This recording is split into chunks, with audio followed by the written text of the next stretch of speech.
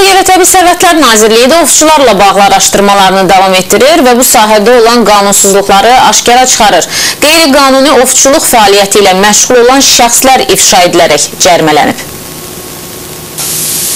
2014-cü ildə ovçuluq mövsümünün başlaması ilə əlaqədar Ekologiya və Təbii Sərvətlər Nazirliyinin əməkdaşları tərəfindən ovçuluq haqqında Azərbaycan Respublikası qanununun tələblərinə əməl olunması vəziyyətinin araşdırılması məqsədi ilə Respublika ərazisində növbəti reydlər keçirilib. Reydlər zamanı qanunsuz ov edənlər saxlanılıb və cərmələnib. Tutulan şəxslərin 95 faizi quş ovu ilə məşğul olanlar olub. Son 2 ay ərzində isə 75 nəfər saxlanılıb. Saxlanılanlardan 66 nəfəri qanunsuz ov etdiyinə görə 9 nəfər isə qanunsuz ovlanmış heyvanların satışı ilə məşğul olduğuna görə saxlanılıb. Ümumilikdə 53 nəfərə e, deməli 61 tüfəng götürülüb, 66 tüfəng götürülüb, 573 ədəd patron götürülüb.